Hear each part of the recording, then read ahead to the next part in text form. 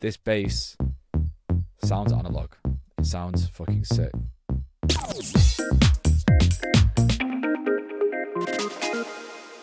How is it going, everybody? I'm Olean, host of this brand new shortcast series specifically designed to improve my, but hopefully also your house music productions. So, this episode is going to be all about how to become a better producer. So, I thought it might make sense to invite someone who actually is a very good producer. And so, I'm extremely excited to be joined today by Josh Baker. Josh, thank you so much for joining us today. It's a pleasure, man. It's nice to be on the other side of the questions for a change. awesome. So yeah, Josh, you're a very successful DJ, being booked internationally, but also an amazing producer releasing on super nice labels. So production wise, what would you say were some of the key factors that have gotten you to the level where you are now? So the biggest contributing factor to getting good was collaborations with friends. I fell into a fortunate position where a very close friend who actually works for Syntho now, Brandon Darby, was making music at the age of 13, 14, and we were in the same classes together. And he was very ahead of the time. He had influences from his sister, his sister's boyfriend, and he was collecting records at a really young age. And from there, I became friends with other people who were slightly older with influences of house music. And yeah, Brandon really got me to production. And then I got the ball rolling there. And then I went to Leeds University for a year. I met Ryan Murray, who we released some tracks together. I think I was 18 then. He was better than me, so I sponged loads off him. Then I started doing lessons. I started getting good. And then someone called Alfie Jack, who I released music with, he came to me for lessons. However, he was really good as well. So I learned loads off him. And I think one of the biggest things for me was I really used all the people around me to gain bits of insight from different people. I'm kind of going through it a bit quickly here, but you know, it was just a matter of iterating, finding out what was, what wasn't working, and then you know, say if I knew Alfie was good at a certain thing, I'd ask him to feedback on that. And then also my friends like Seb and Emil, who were local dub, they were producing, and I just fell into a circle of people who all had a fascination for production and all wanted to get better. And we spent days making music together. So we were really just immersing ourselves in a studio together and just saying, right, we're going to make two tracks today and sitting in here until it was done. So the collaboration was definitely a massive factor. And another thing which helped me get over a brick wall um, for a while, I'll never forget, I told Kurt, who is my business partner and agent, once when we first started you and me, our party after about a year, I don't think I can produce, man. I'm a DJ. I can't make tunes. I'm never going to be able to do it. And he was like, oh, you'll be fine. You, you're only just started. You're young. And then there was a guy in Manchester who was a techno producer who was doing one-on-one lessons, and he said, "Why don't you go and give him a try?" And I was like, "You know what? Why not?" So this was probably about two, three years into production, and I went and saw him, and I then learned what an EQ was. I was actually making amazing tracks, but with no knowledge of what an EQ was, what distortion was. I was just making really good grooves, hearing things and trying to replicate them. And then I realized there's plugins out there, so I was doing everything because Brandon was was teaching me um, to do everything with stock. So I was creating bass with operator, with analog, Ableton effects. I'm making really interesting tracks, and um, I then was told, okay, there's this whole world of plugins. I was like, oh my god! So I bought Trilian by Spectrasonics. I bought Sound Toys.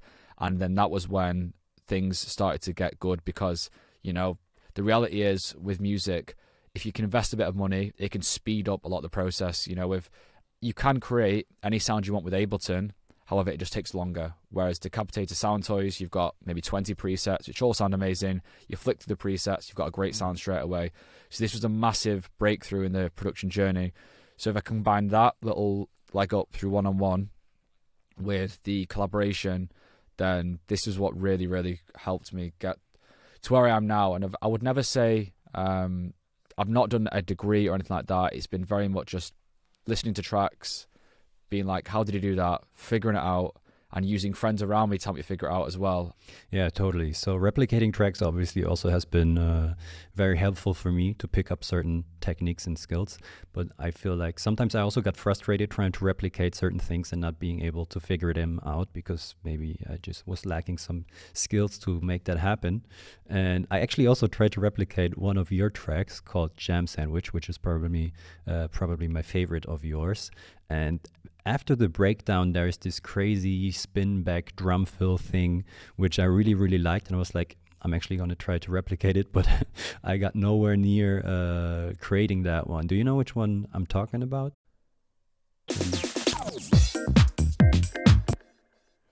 That one. So it's this one. Yes, it's exactly that one. So since you're here anyway, maybe there might be a small chance that you could show me or show us how to replicate a sound like that. That would be awesome. Okay, so this is the Jam Sandwich project. This came out on Automatic Writing, which is a French label. I met these guys at a after party in Paris actually, and then showed them some tracks, and then happened to end up releasing on a label. And it's probably still one of my favorite EPs to date. And this was the lead track. So to do this, you just need to find an audio sample of a vinyl scratching. I actually have seen people do it themselves. So you could set up a turntable and literally put a new, uh, record on there and just flip the vinyl back. So you can either do that or find a sample. This is just a an actual sample my, uh, I found myself, I believe. But you can hear it work with all the other effects. So what I like to do is when there's a drop, I've got a specific tutorial on this on my actual YouTube page called um, fills and effects, or something like that. So if we look at this little groove here, so we've got 89 to 93, that's four bars and then another four, four bars there. At the end of every eight bars or sit or sixteen bars, I like to have like a a call and response between different effects. So you'll see here that when there's one bar to go, I've got an effect coming in there, and then I've got another effect. Well, it's not actually turned on.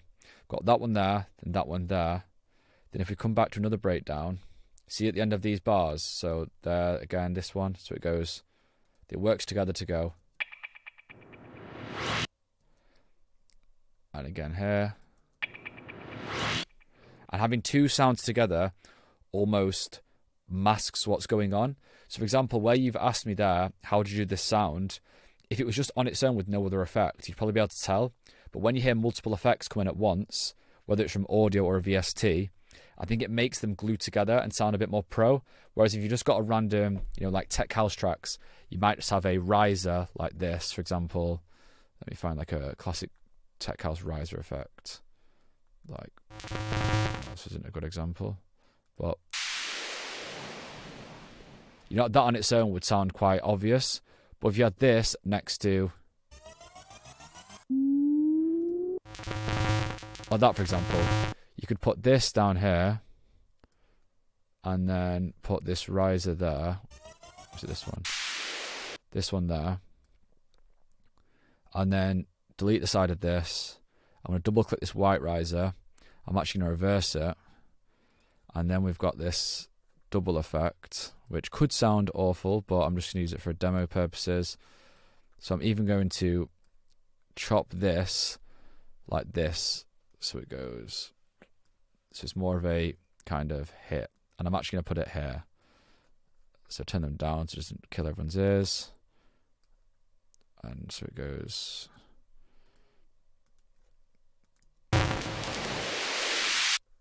See, great example. So if it was on its own, this would just go. But with the two effects together, almost sounds like one sound. So if we put some reverb, some delay, some reverb, some delay, let's put loads of random delay. Let's just go for it. Um,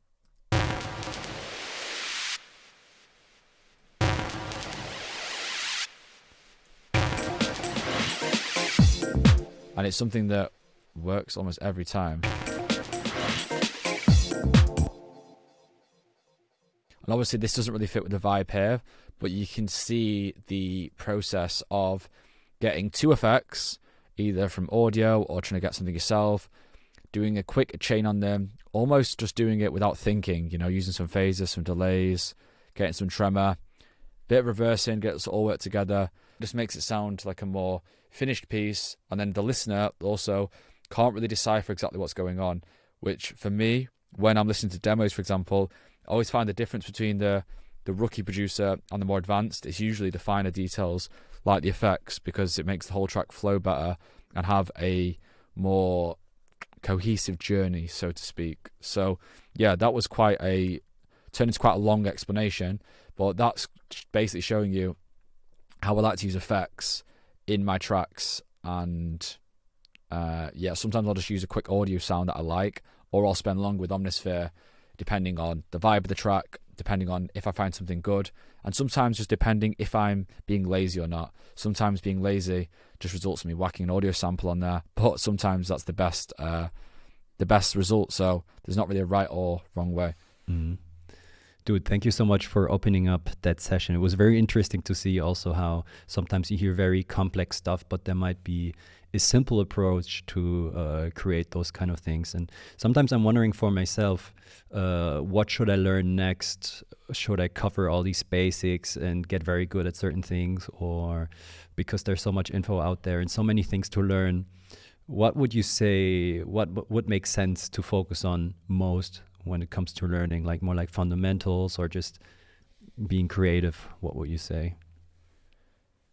Yeah, there's a level to it where I think it's good to learn, you know, the very basics, which uh, yeah, is 100% important. However, there's also the the fine line between are you just spending the whole time trying to sound design things when you can actually just get stuck into it, find a great sound, and get creative. And I think the question you should ask here is, what am I trying to do? If you just want to make some music, some bangers, you know, to play in the clubs for your friends, maybe you don't need to spend three years learning about, you know, synthesis, the ins and outs of all the parameters. You can really, the word plug in, you can literally plug in and play and have fun really quickly. And it was Trilian by Spectrasonics that I got, which is just for bass. And I was like, wow, these are the bass sounds I was trying to make. And I would never have been able to create them inside Operator. My sound design skills are no way near the level to the sounds in my head. However, you know, all these classic sounds that you hear, the SH101 basses, there was Moog basses in there. And then I was like, right, now I can have some fun. And then the amount of tracks I was making um, increased because I could get a good bass sound quicker. I was then having more fun. It was very much a compounding effect that once I started creating the sounds I actually wanted to create, then I really got a bug for it. And then it just kind of went like from making a bit of music to realizing, okay, this is how we do it. And then it was just a, you know, free for all for probably four or five years. I think me and Alfie alone made 50 tracks in a year just between wow. us two, plus all the ones I did. This was the year before COVID, when the lockdown happened. We just went went for it. We would be sending back and forth. We'd come in the studio together. We were just relentless and really kept each other um, accountable. Like, come on, send me that project back. And we went from like being decent to pretty good after that. And someone asked me before in the Syntho Discord about what's the best way to learn, and someone gave some feedback about making notes, etc. But if you never actually do the thing you've took the note on, it's never going to stick. And it's like anything, it's all about repetition. Do it once and do it twice, do it three times. And maybe after five times, you'll remember exactly how to create that sound, how to go in that flow. Then it gets quicker and easier. And then that's when the magic happens. Yeah, totally. So, yeah, making some magic happen is something that many of us want, I guess, but sometimes this process can be a little bit uh, difficult. But you actually created uh, an online learning platform called Syntho, which you just mentioned, um, to help many of us uh, in this process. So I actually checked out your website and everything, and it looked very, very interesting. Not only because it kind of hits the sweet spot of the sound that I like, but also of the different content that you offer, like track remakes. I, I saw on YouTube where you have a bunch of content about the site that uh, you had like crazy guests like Matt Villa, this kind of stuff, track breakdowns, which help you a lot, just like the session we just did. Mm, but something that made me especially curious about the Syntho Hub is that you've you guys developed an app which you integrate straight into your learning process. Maybe you could give us some background about how why you've come up with creating an app and how it's gonna help users uh, in their production journey. Of course. So there was these limiting factors that I couldn't get past for for the member experience and just the vision I had because I wanted to create a community of producers so people could help each other and it was almost something that ran itself and people could come connect get feedback learn and it was just an ecosystem which was seamless. But we were using zoom to do lives we are using discord to chat we are using the membership site to watch the videos instagram to chat. It was all very disjointed. I was like right what if i could put this all in one place? It could be a social media thing which meets music education so I started. I wrote down this this plan I'm going to make an app. We launched about two weeks ago, and I think it's something which is going to completely change the face of music education because now there is no need for people to go and do a either a nine grand degree or they don't need to pay for one-on-one lessons because I'm building it in a way which you can get access to unlimited amounts of content from your favorite producers, but we're also now developing a system where you'll be able to get feedback regularly. This has been a hard thing figuring out the feedback system. No one's nailed it because obviously feedback takes time. So to offer feedback at scale at an affordable price is very hard. But we've figured something out, like a a really good system, I believe, which will change things for all members because they can work, create, then receive, you know, this is what you're doing wrong, this is what's doing right, and go away and fix that, and then come back a few weeks later and we can help you again. So that's where we're at now. In January, we're thinking to launch it in an eight week cohort. So you could join. Then over the span of eight weeks, you will follow a cycle. So week one, we may do an introduction into finding your own sound. Then you get an assignment. Then week two, we come together and we say, right, week two, we're going to combine different flavors and put together an eight bar loop with this, etc. Then week three, week four, we go over eight weeks with the end having an assignment. Then it comes back around and starts again. So this could offer producers who struggle with accountability something to follow, and it also means we can really nurture artists to where they want to be. So there is infinite possibilities because now we have an app ourselves. We can develop new features, um, such as we've already developed a notes feature. So when you're watching a video, you can make your own timestamp type notes, which then sync to your profile, which can check later. So it's almost like watching a lecture, make your notes, and then on your profile, you've got all your own notes saved. So we want to turn it into something which is the pinnacle of electronic music education. That sounds really exciting, of course. Uh, I do like uh, a notes feature like that because I tend to make notes either on paper or on, on a sticky note text edit thing on Mac, and I tend to lose them or lose overview of these things. So it's nice to be able to come back to them. Uh, maybe one question I would have is, of course, you guys are offering some great content and these kind of things, but what should members bring to the table? Because education is usually a two-way street. Um, so, what would you say would someone who decides to head over and join uh, the Syntho Hub? What do ha they have to bring to the party to make most of the Syntho experience and this kind of stuff? Okay, it's an interesting question. So the reason we made this app was because of this problem when it was just videos. It was a one-way street in terms of you'd come into the app, um, into Syntho or any other of these learning platforms which people have created, and it was just videos. Or you could go in the Discord, but there was never quite that stickiness and the engagement where you'd come through, you'd sign up, and straight away you're part of a community. It wasn't like that. You'd sign up, you'd get some videos like what do I do next. Whereas now with the app, you will sign up, log in and be inside a system where you've got your own profile, you can direct message. So immediately it gets people more engaged because I know most people's problem is not lack of information now. There's information everywhere. The problem is accountability, discipline, and motivation, if you want to say that. So, what they need to do is ideally have a clear idea of where they want to go, and they need to keep themselves accountable. But that's why we're trying to do things inside the app to help with this because if everyone was you know disciplined and and that then life would be much easier. But that's usually most people's problem. But i would say you need to be dedicating. I say that the best way to do it is repeated small sessions than opposed to one long session. So some people say like okay i can just make music on a saturday but i don't think that's that effective. I think it's better to the, get the repetition in through the week and things stick then. And this further supports why we've done this app because it's on mobile and desktop. So now you can replace the TikTok scrolling on your lunch break with watching a tutorial. Then this could then motivate you to get home and make music. So it's a, it's a kind of like a whole thing here we're trying to get at that you kind of live and breathe it and it becomes part of your life. Because how much time do we waste on TikTok, Instagram, Facebook? But we're only doing it for entertainment. But what if you can replace that, you know, doom scrolling entertainment with something which is getting you closer towards your goals? So yeah, it's hopefully something that can slot into your life and make everything easier opposed to like, right, I really need to commit to this. We're trying to make it so it's effortless as possible with the features in the app, if that makes sense. Mm, yeah, totally. Uh, that's also something I've been trying over on my Instagram channel to create some content, some short content that you can just look at here and there that's production related. Since, I mean, people do spend a lot of time on social media, so why not put something in there uh, which is useful? So thank you so much already, Josh. There were some super interesting insights uh, in there. So maybe to summarize for myself, um, I would say accountability and a network you said are super important to have some producers around you. I realize I have some producer friends, of course, but uh, I'm not always connecting enough, not working on it together. And every time I do, feel like I do get some good feedback and just show people ideas. And also, yeah, sometimes you end up in this production tunnel and don't know if it's good or not. And it's always good to get some cool feedback and from friends even and become friends with people um, who are also producing.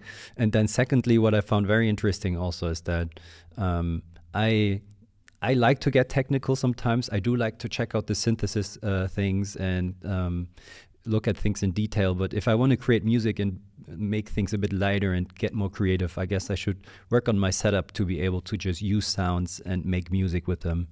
I sometimes get stuck, like get throwing together some drums like a drum kit. Um, and then being too tired to actually use them to create a drum groove. So uh, that's something I'm going to try uh, working on for sure. So yeah, as I said, thank you so much. But maybe since we have some time left over, it's the first episode. You had the Jam Sandwich project open. Do you think there might be some other uh, cool things that you could show us um, from that project to round things off? That would be great. Okay, so let me show you a bit about the low end as well. So we've got this groove.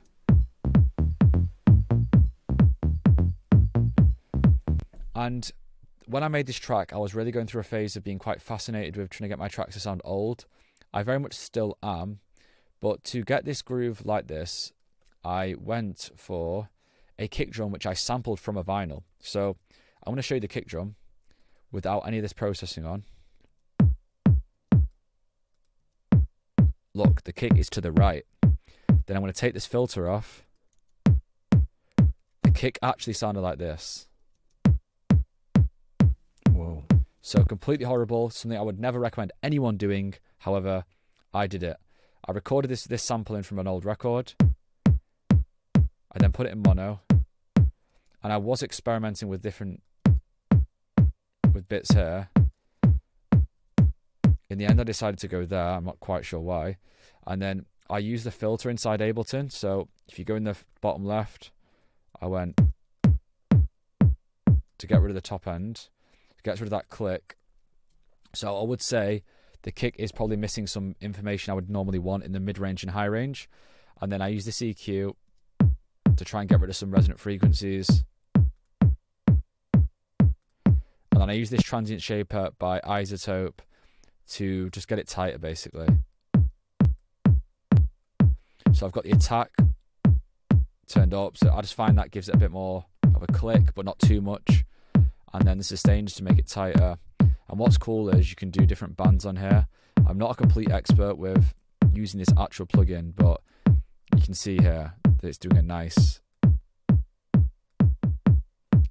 a nice bit of work to make it more prominent. And you can use the mix bottom right as well to just kind of dial it in where you want. So that's the kick drum and I've got a basic groove, then I've also got this little shuffle at the end. So you see this extra kick with the velocity down. And even when it's just the kick drum playing, having one or two extra kicks somewhere in the pattern can really bring the groove back around. And then with the bass, I have gone for the famous Lately bass. But this is actually recorded from the Yamaha itself, the Yamaha TX81Z. I've got a proper one and it's oh, gone yeah. through my ghost mixer as well. And I sometimes I kind of like say, "Oh, it doesn't matter how you make tunes," but this this bass sounds analog. It sounds fucking sick. So we take these. It does. Yeah. It sounds sick. It sounds there's something different about when the bass is from analog. There is something different about the transients, the overall tone that can't be replicated in the box. I think to make these kind of like standard dance floor hits, you can do it inside the box, but there is something different about well, I've I've seen loads of people using this lately bass recently, but VST versions, and it does not sound as good as that. So the melody is just this, and this note goes down at the end. And then the bass is um, processed with this EQ to begin with. I've then used the Moog filter by UAD. This is just using a bit of the drive and a bit of resonance there. I don't think that's really doing anything. Then Kickstart, which is the side chain plugin I always use. Then Mono to make it mono. Then this little compressor. I don't know why I compressed it. I really couldn't tell you. Probably didn't need it, but yeah. Then if we play them together,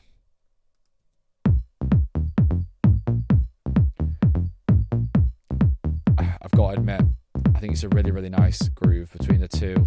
They seem to sit really well, and I think because the kick's quite, um, quite you know dusty and imperfect and imperfect, this analog bass with the subtle groove sounds really cool. And another tip for this bass is is that the velocity on the notes is quite low, which is why it's not too kind of pinging in your face. I think a lot of people are using that lately bass sound at the moment, and the late, the velocity is all the way up, which can sound really good, but it's always worth trying velocities a bit lower because it can sound, you know, it's a different tone. And in this instance, that's what's giving it that um, vibe. And I'll also show you the snare because the snare's fucking nice in this track. So, and it's just super simple. So just this one sample. And I've used the Pultec by UAD. You can get a free version of this, not by UAD but they've always got really nice presets. Snare fat, use that.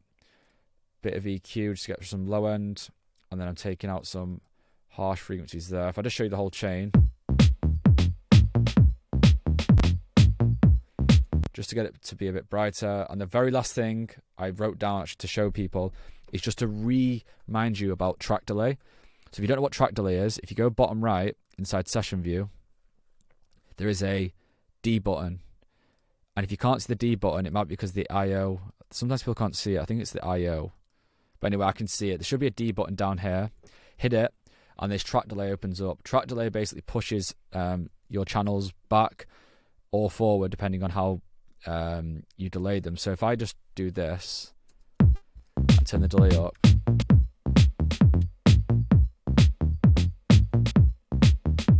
It starts to lag. Almost sounds like your computer is glitching. But if you imagine yourself recording your tracks using only analog machines, you're always going to get some kind of latency or a bit of delay in the recordings. So just by delaying elements in your drums and synths, bass and kick, etc., you're going to start to get a bit more of a natural groove between the the elements. So it's something that's always worth doing, whether it be slightly, just two milliseconds, or five. See, it starts to sound a bit looser and a bit nicer. My taste right now is I like to do things a bit looser. So if we do the hats, and this as well.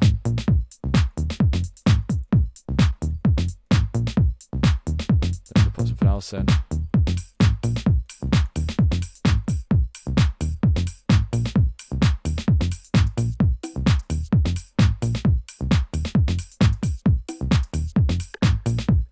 That crazy stuff even do the bass.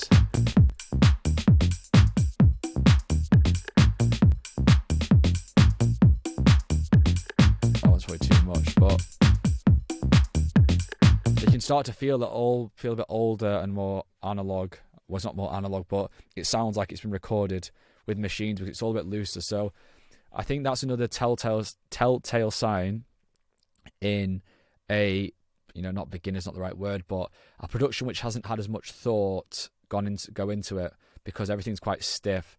But track delay is a super simple um, thing to use, which I still don't think many people are aware of, especially the newer producers. As there's quite a big obsession with making things dead, dead tight and hard and um, punchy, where making it a bit sloppier, I say, can be really good. So yeah, man, that's my production um, insights and and some knowledge to share with the viewers. Dude, Awesome. Once again, thank you so much uh, for joining us today, showing us the project, giving us some insight and tips.